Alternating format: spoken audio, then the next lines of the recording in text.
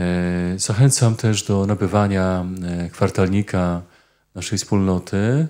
Jest to kwartalnik ewangelizacyjny, charyzmatyczny, Światło Jezusa.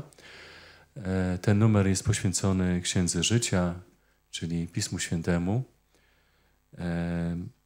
Piękne artykuły, wywiad, świadectwa, też reportaże z misji, między innymi właśnie na Alasce poradnik duchowy też psychologiczny.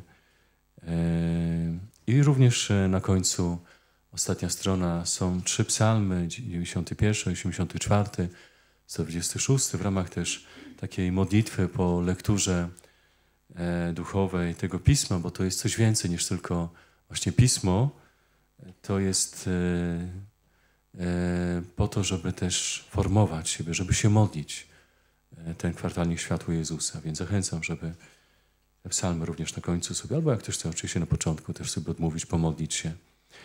I tam jest też taki w ramach wstępu e, na drugiej stronie e, logo naszej wspólnoty, opis, dlaczego mamy takie logo wspólnoty.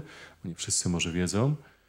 I również jest modlitwa przed właśnie czytaniem tego kwartalnika, żeby, żeby to było właśnie czytanie duchowe, czyli głębsze, dla dobra duszy, umysłu, e, to trzeba, albo wskazane jest, żeby się pomodlić. To jest, tam jest modlitwa do Ducha Świętego.